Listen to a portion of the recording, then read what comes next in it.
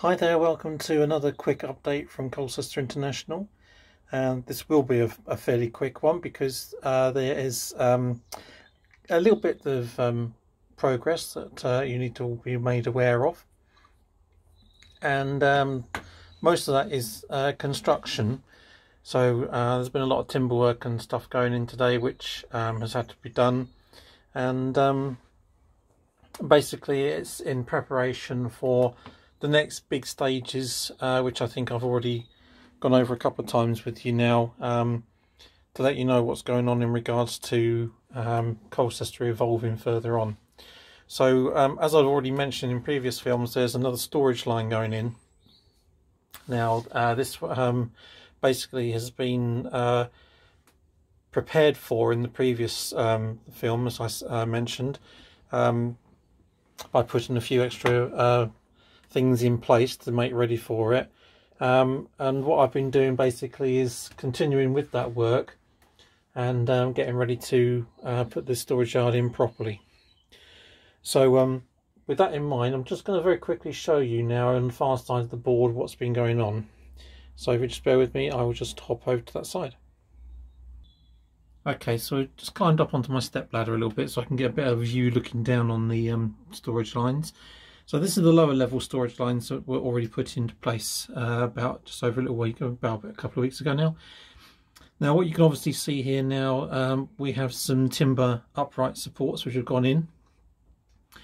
And um, I've also made provision for um, some brackets to go in on the far wall there.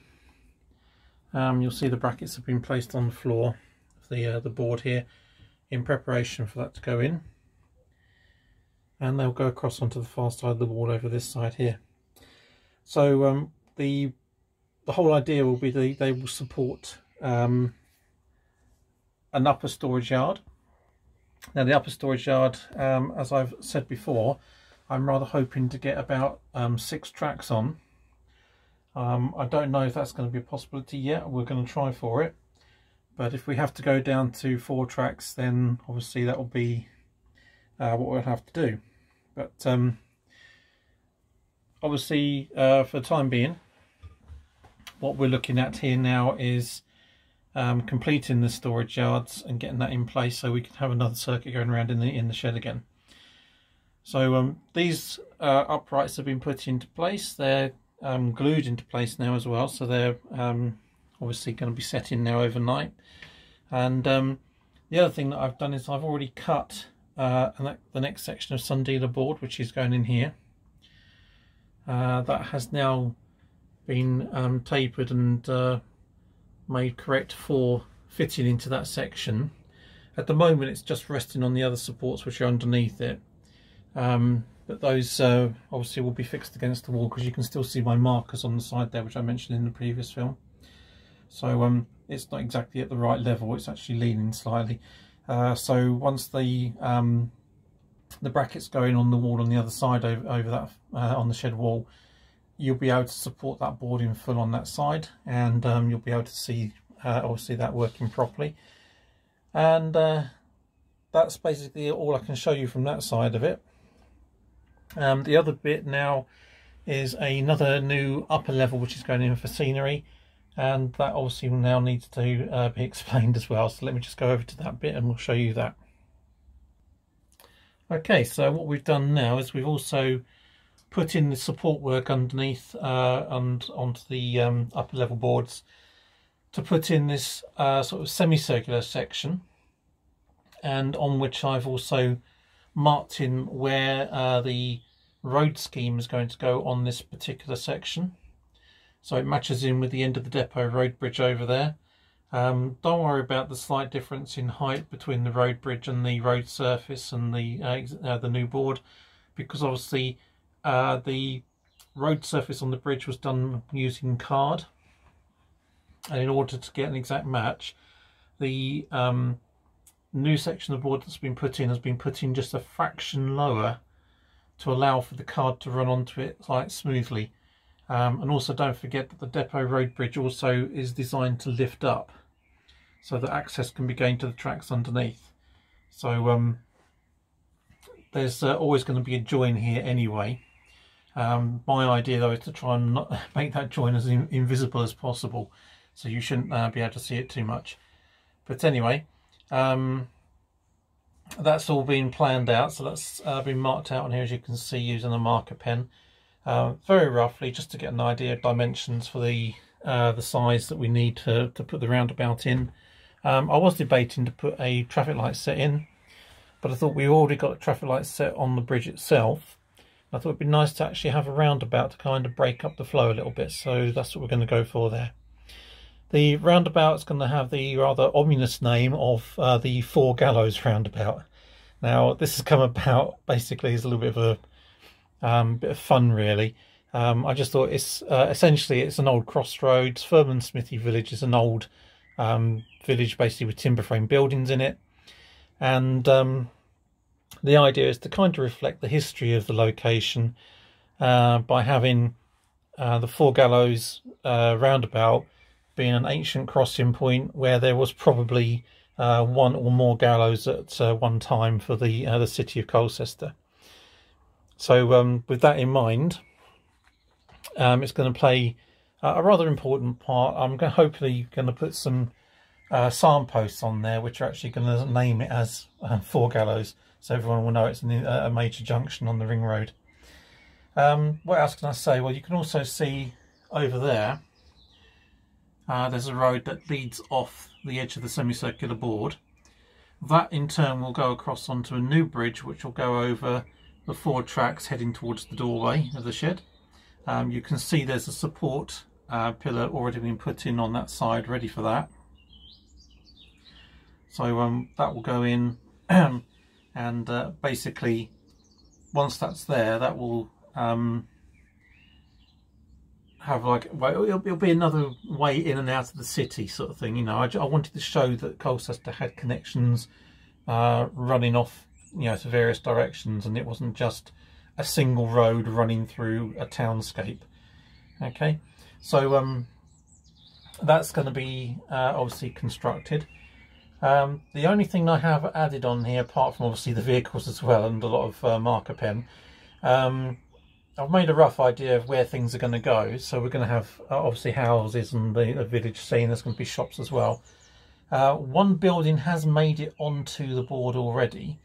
It's uh, in in no way means is it in its like final sort of uh, location. It may uh, obviously be changed and moved around a little bit, but um, this will be um, more or less in the right place, and um, I think it's going to be uh, look quite good. And that's the church. So this is the little St Mary's Church at Furman Smithy, and um, this will be uh, the point where another bridge goes across the railway station. As you can see, the two supporting piers have been put in on the board already. And um, as discussed in the previous video, that roadway will continue over there uh, in the general direction of the um, can of spray paint. And uh, in that corner will be our ruined abbey idea that we've got and uh, obviously the tracks which will eventually be covered over uh, by hillside and lead out into the garden. Um, so this is basically all I can sort of tell you for this particular little film. Um, there's been no trains running today because obviously there's been a lot of building work in the way, construction work, and that's why we've got lots of drills in place and lots of bags and stuff and that in the way. So um, yes, it's been quite busy. Um, it'll be continued on with. Uh, there'll be another little further update to this film and uh, hopefully you'll get some idea of how the storage yards are going together. Um, at the moment, um, where the tracks uh, come off at the end there, um, there's going to be a couple of points which will need to go in there and probably two more points after that. So it's we're, we're looking hopefully, like I said earlier, just to try and get six roads in there if possible, but uh, we can't guarantee it. Um, the other thing which is going to be uh, a huge challenge is over this side here. Now, as you can probably see, there's quite a height between the, the lower loop line and the new upper board. Now, this has obviously um, caused a problem uh, because of my um, idea of putting in the depot road bridge. Um, initially the road bridge was going to go in at a slightly different angle and it would not have affected this area. But now that it's in place, it does mean that um, I need to come up with some sort of um, idea for a tunnel mouth in this bit. Um, I also need to um, put in something on the corner of the um, uh, the lower board here uh, to obviously um, sort that bit out so that I've got space to fit in this uh, new tunnel mouth. So um, there's a little bit of work got to be done down there. And the tunnel mouth itself is going to be very, very modern. It's going to be a concrete one. And it's going to like reflect like a, a redesign of the track sort of thing. So obviously at some point there's been a, um, a rethink of how all this goes and um, they've redesigned the tunnel portal and uh, re-landscaped it and everything. So um, that I think will prove um, quite interesting. I might need to change the um, little embankment that I've got there just very slightly to reflect that. And um, obviously that will all have to be uh, redone, landscaped and all scenic stuff put onto it as well. So um, that's uh, another little challenge that's got to be done. Um, there's a few more little bits that got to be fitted in place to make sure that this uh, top is secure. Um, and I've also at some point got to try and get over onto the um, the depot bit as well, um, which I've now made a little bit more difficult for myself, but um, hopefully I can still get across onto the depot because I've still got a couple of sidewalls to do on the ramp over there, and of course the um, the depot tracks need to have the overhead wires attached on them. So um, that's all got to be done in due course. So um, yeah, that's a little bit more of an update for you, a little bit more news from Colchester, and uh, please stay tuned. There's a lot more going on, and uh, hopefully we'll have um, another storage yard in place fairly soon, and uh, you'll be able to see uh, more trains running around on those. So um, until then, that's um, goodbye from me, and uh, please make sure you put your comments and stuff on the uh, the video. Um, please subscribe to the YouTube channel, and um, please, can you please put some comments on the website, everyone? Okay, thank you very much, and goodbye from now.